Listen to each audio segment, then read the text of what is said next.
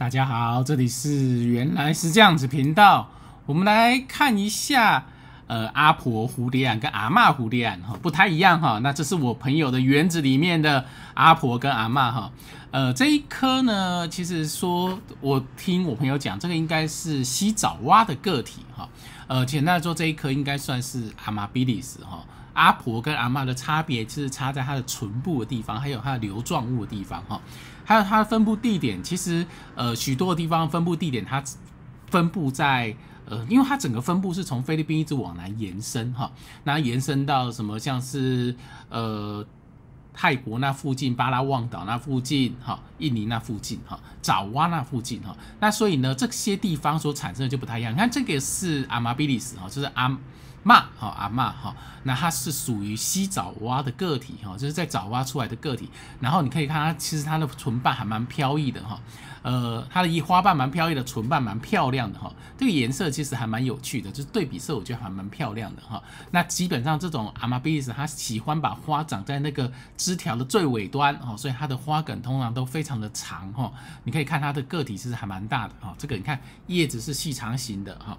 那阿嬷跟阿婆是分布的产产地很多了哈。我们来看下一个。这个呢是很有名的一种品种哦，就是新几内亚的品种哈。新几内亚品种其实我很非常的喜欢哦，但是我这边一直就是长得很大，但是不太开花哈。呃，新几内亚品种通常会香哦，会香。呃，就是有人讲的新几内亚的香的蝴蝶兰哈。呃，这个可能是选出来的个体啦，不过它就是会有香的个体哈。因为市面上可能都是这一个个体去做呃切片或者是做交配所出来的，所以大部分的对大家对它的印象都会香。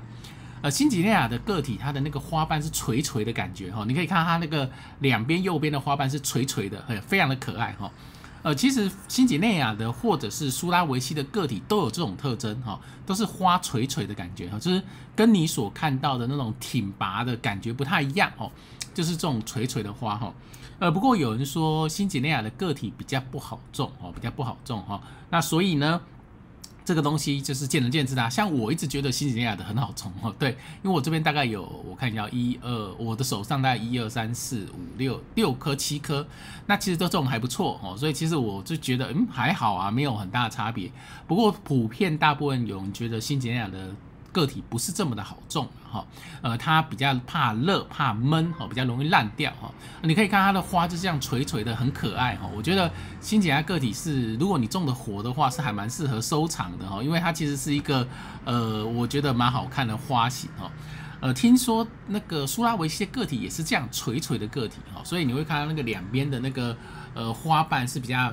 比较往下垂的感觉哈，这也是这个产区的那个特点啊。我觉得这是这个产区的阿嬷的特点哦，就是有这种垂垂的感觉哈。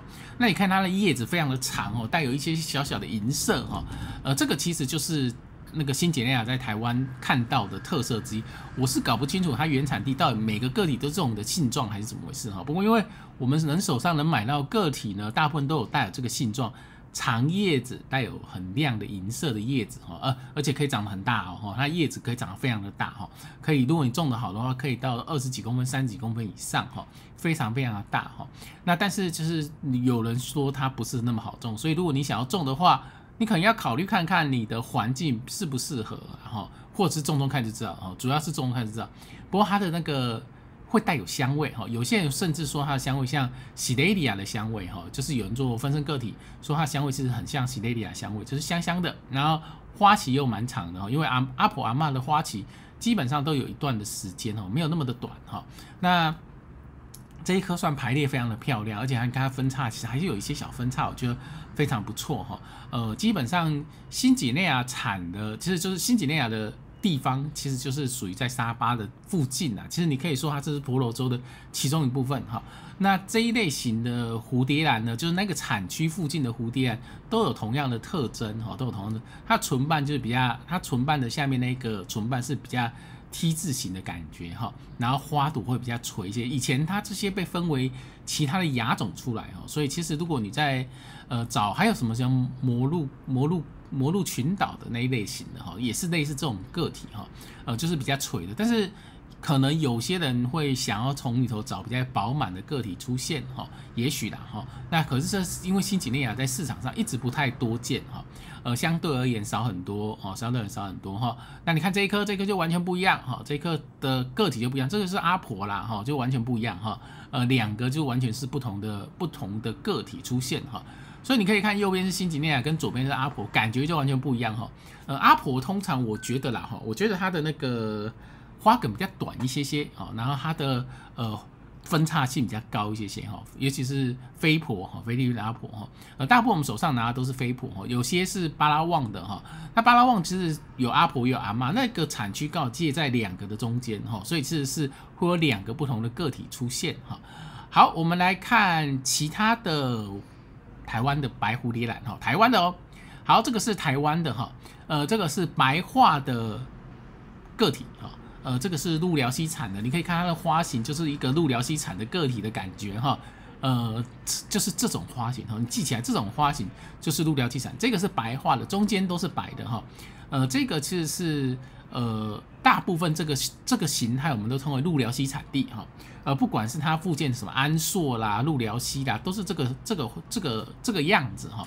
它跟大五的样子真的长得不太一样哈，呃，大五的样子是完全是另外一种另外一种形态哈。如果你有机会看过大五的，你会发现大五的都长很像哈。其实安硕跟呃，我觉得陆辽系的也都长得很像哈，都是长成这样子，所以很好区分出来哈。那这一类型的蝴蝶兰有一个很大的特色，在台湾的这一类型蝴蝶分叉性非常的好哦，非常非常好。在我朋友那边，它可以分到好几十叉左右的大小哈。那你要盆植，你要板植都可以。像我就喜欢用板植的种法。那因为这些大部分是卖家要要贩卖的，所以大部分他们用采用盆植的种法哈。呃，这个是白化个体，呃，普通的个体里面会带有红色的红色的线条哈。那白化个体就完全是白的哈，全部都黄的哈，这我们叫白化个体哈。那基本上呢，呃，如果你好好种的话。大型个体以后会开很多的花哈，这个是我觉得呃种这种种这种台湾阿嬷好玩的地方哈，基本上就是开花开花性非常的好哈，呃分叉性高，开花性好，然后虽然不会香哦，但是白色很飘逸的感觉哈。那这一这一批都全部都是半白的个体哦，你可以看到全部都是半白的，呃白化的个体不是半白，半白里头还会带有一些颜色哈，白化的个体就整个都是黄色的哈。那正在开哦，正在开，是现在呢是蝴蝶兰的季节哈，这是开的差不多了哈。那基本上呢，过了夏天以后，呃，是凋谢的速度会变快。现在是比较凉一些些哈，所以它的那个花的凋谢速度还没有那么快。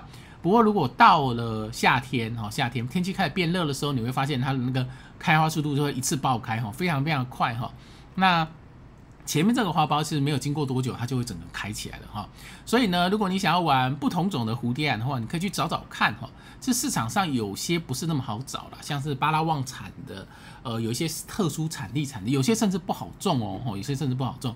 我知道台湾的很好种了哈，苏拉维西的我也觉得还好，我觉得阿妈都还好哈。没有到非常难种哈，那有人就是说，像我们刚才所看到前面的，呃，新几内亚的，有人就说它比较难种一些，所以如果你想要尝试看看的话，你可以找找看小苗哈。不过这几年小苗有时候不好找哦，它的小苗有时候会出现，有时候不会出现，有时候就市场上就突然没看到哈。